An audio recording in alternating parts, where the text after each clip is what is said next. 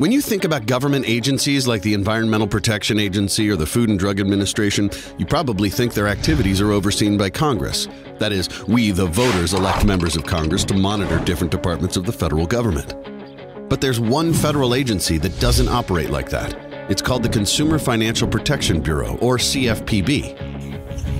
Created by the Dodd Frank financial law in 2010, the CFPB claims to hold banks and lenders accountable and protect Americans from predatory lending practices, keeping the borrowing process fair.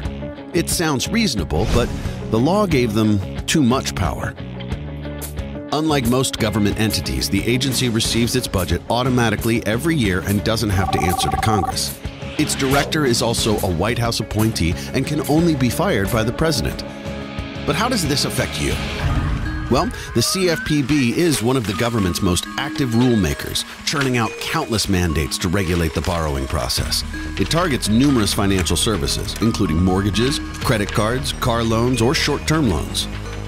The agency is especially focused on punishing American banks and piling on thousands of regulations that cost billions of dollars in compliance.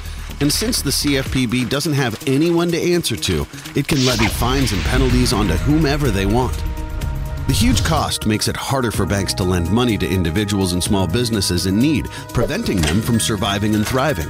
If a small business can't secure a loan, for example, it can't expand and hire more employees, hurting people who need jobs. Since the passage of the Dodd Frank financial law, only three new community banks have opened a year, compared to a historical average of 100 per year. On top of that, over 1,200 U.S. banks have gone out of business since 2010. This leaves individuals and small businesses with fewer options. Keep that in mind the next time you need a loan. It might be the CFPB holding you back.